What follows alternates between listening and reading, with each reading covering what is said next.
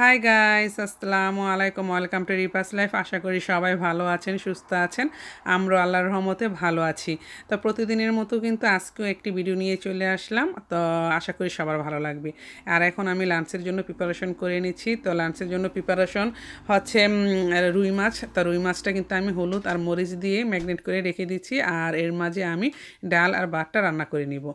তো এখন আমি ডাল বসিয়ে দিয়েছি, মসুরির ডাল রান্না করছি আর রান্না করব হচ্ছে ভাত। তো মসুরির ডালটা কিন্তু আমি বেশি মানে লিকুইড রান্না করব না ড্রাই রান্না করে নিব। আর ডালটা কিন্তু শুকনো শুকনো করে আমি রান্না করে নিয়েছি। আর হচ্ছে আমি এখানে বেগুন কেটে হলুদ, মরিচ, লবণ এগুলো দিয়ে একটু মেখে এখন ফ্রাই করে নেব। আর এই বেগুন ভাজাটা গরম ভাতের সাথে কিন্তু অসম্ভব ভালো লাগে।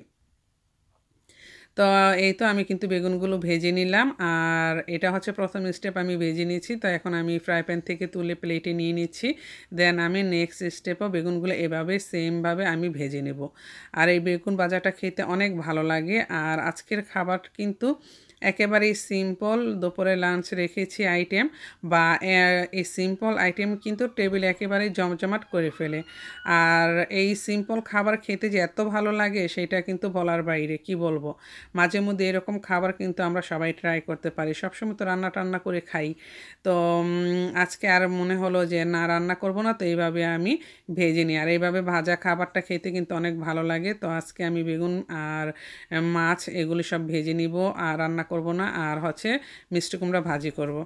তো সাদা ভাতের সাথে খেতে অসম্ভব ভালো লাগে। তো আজকের খাবারটা অনেক জমজমাট ছিল। সাধারণ সিম্পল খাবার কিন্তু খেতে অসম্ভব টেস্ট হয়েছে বা ভালো লেগেছে। আর মাঝে মধ্যে কিন্তু আমরা চেঞ্জ করে খেতে পারি, ঠিক না?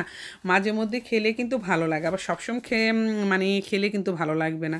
কারণ সবসময় এক ধরনের বা এক আইটেম খাবার কিন্তু খেতে কারও ভালো লাগে না। আর ডিফারেন্স মাঝে মধ্যে চেঞ্জ করলে মুখের রুচিও আসে বা খেতেও কিন্তু অনেক ভালো লাগে বা এনজয় করে খাওয়া যায়। তবে মাছগুলো কিন্তু আমি একটু কড়া ফ্রাই করে ভেজে নিব, যেহেতু রান্না করব না। এরকম ভাজা মাছটাই খাব। তো আমি ভালো করে মানে ম্যাগনেট করে রেখে দিয়েছিলাম মাছটা আর এখন ফ্রাই করে নিচ্ছি।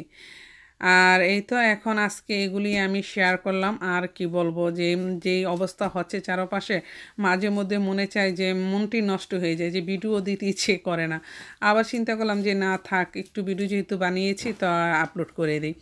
কারণ চারপাশের ইউটিউবের অবস্থা দেখলে এখন নিজের কাছেও কীরকম একটা ভালো লাগে না। নিজের কাছেও মনে হয় খারাপ লাগে বা কীরকম মানে কি একটা পরিবেশ সৃষ্টি হয়েছে। এমনিতেই মানে চারপাশে করোনা ভাইরাস যে জিনিস আমরা কখনো দেখি নেই শুনি নেই এখনও পর্যন্ত কিন্তু এই ভাইরাসটা এখনও পর্যন্ত আছে যে এটারও কোনো এখনও পর্যন্ত সমাধান আসে না এর মধ্যে ইউটিউব জগৎ যে শখের মানে কি বলব? শখের বসে ইউটিউবে ভিডিও আপলোড করতে এসে এখন দেখা যে উম, মানে যাচ্ছে ইউটিউবে জ্বর তুফান বয়ে যাচ্ছে।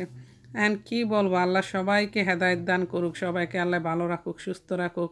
এখন দোয়া ছাড়া আর কোনো কিছু আমাদের নেই। এখন সবার জন্য সবার বেশি বেশি করে দোয়া করা যে, আল্লাহ তুমি সবাইকে হেদায়ত দান করো, সবাইকে সুস্থ রাখো, সবাইকে ভালো রাখো। আর সবাই যাতে মানে কি বলব, আল্লাহর দিনের পথে, ন্যায়ের পথে চলে, এভাবে যাতে আর কাদা ছড়াছড়ি না হয়, একে অপরের উপরে। নিজেরা নিজেরাই যাতে সমাধান সব কিছু আমরা করে ফেলি আর নিজেদের ফ্যামিলিগত ব্যাপার যাতে আর ইউটিউবে আমরা টানাটানি না করি, যাতে সবাই আমরা ভালোভাবে মিলেমিশে একসাথে থাকতে পারি। আল্লাহ নিয়ে আমাদের সবাইকে সেই তৌফিক দান করবে। আর এর মাঝে কিন্তু আমার সব কিছু রান্না কমপ্লিট হয়ে গিয়েছে, আমি প্লেটও বেড়ে নিলাম। তো দেখাচ্ছি কতটা সুন্দর এবং ইয়াম্মি একটা খাবার হয়েছে। দেখতেই কিন্তু দেখা যাচ্ছে যে অনেক লোভনীয় হয়েছে